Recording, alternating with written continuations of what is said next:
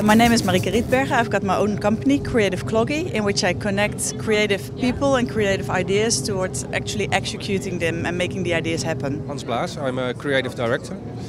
Um, I used to work in Amsterdam for about 20 years now, and now I'm freelance and live somewhere else, so I have to go to an hotel and uh, go back again.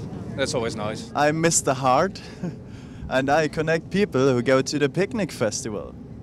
So we thought about, you know, people go to picnic and they are here on the ferry and they just stand here and, you know, some people don't know anybody.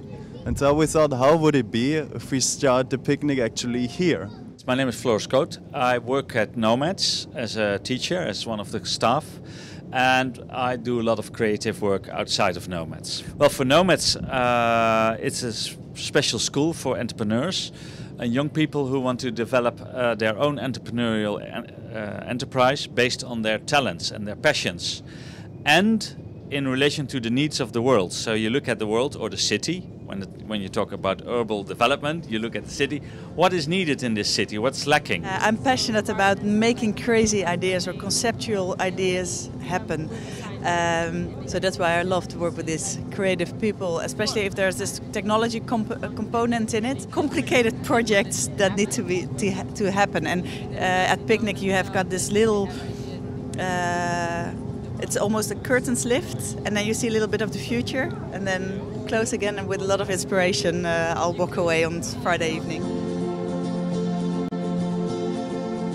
The world is changing very fast, and um, and because it changes very fast, we need uh, to look differently at cities. For instance, if a huge crisis comes, could be, and we have not planned for uh, a change of economy, economical models, or a different world, or a different distribution of energy. So we need cities that cost way, way less energy to heat up. So that needs a lot of planning, thinking, and bring creative minds together. Building a city uh, is not something just for architects. And I'm in advertising, and um, advertising can do loads and loads more than just stick up billboards and uh, make commercials and stuff like that. So I want to be interconnecting with people there and trying to tell them what advertising can do instead of just focusing on really the buildings itself.